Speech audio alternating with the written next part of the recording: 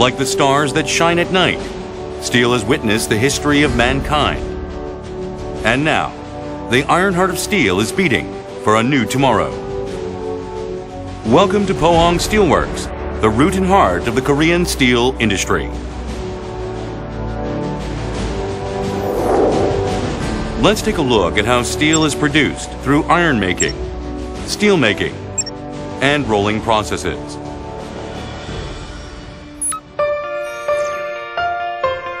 The first step in making steel is the iron making process, where iron ore is smelted into hot metal. Initially, iron ore and coal are imported from all over the world and unloaded onto raw materials docks. Before entering the blast furnace process, iron ore fines and coal must be first prepared into a suitable form. Iron ore fines must be agglomerated in a process called sintering, whereas coal must be refined through a process called coking. The sinter and coke are then charged in an altering layers into a 100 meter tall blast furnace. At the same time, 1200 degrees Celsius hot air is injected into the bottom, causing the coal to burn and form a reducing gas. The gas reduces iron ore into pure iron, which at around a temperature of 1500 degrees Celsius becomes molten hot metal. Improving upon the blast furnace process, POSCO is the first company in the world to commercialize a more economical and eco-friendly method of iron making with Finex. The Finex process allows the creation of hot metal using iron ore and coal directly in their original form, skipping the sintering and coking processes entirely. The next step is the steel making process, where impurities are eliminated from the molten metal to produce crude steel. The molten metal from the blast furnace contains carbon and other impurities. Because these impurities reduce strength and durability of solid metal, removing them when iron is still in liquid form is necessary. A torpedo car transports molten metal from the blast furnace to a steel making furnace called the converter.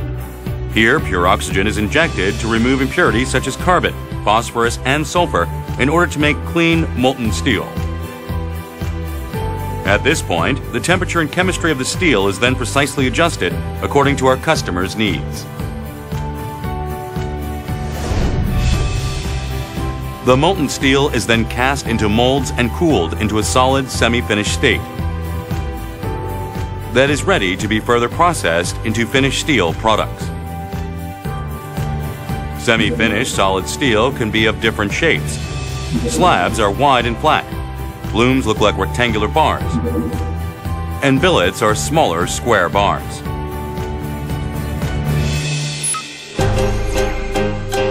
The final stage of producing steel is the rolling process, where the semi-finished steel is pressure treated into various steel products. When a slab is heated to above 1100 degrees Celsius and passed between rolls, a thin and long steel sheet is produced. This hot rolled product is used widely as a construction material for making pipes and in various other industries.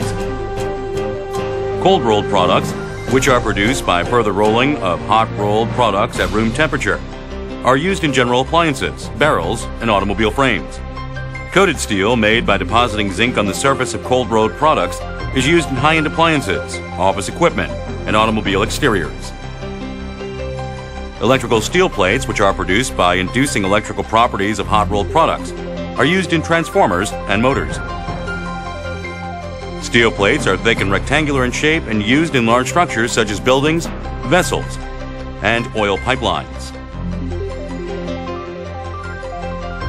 When a billet is heated to over 1000 degrees Celsius and rolled in a round oval roll pass mill, it is shaped into a thin and long wire rod, which is used as automobile tire cords, wires for bridges, piano strings, and underwater cables.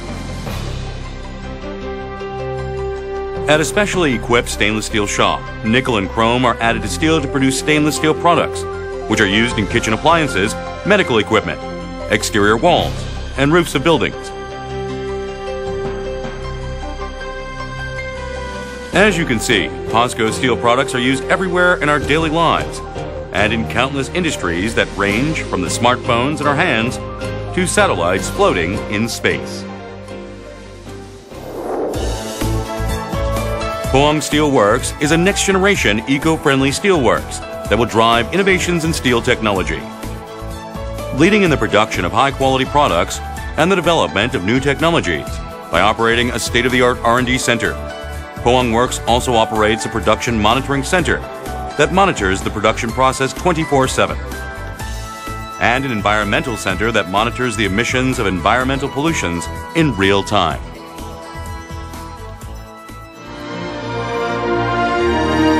Ushering in a new era of steel technologies with an endless passion for steel.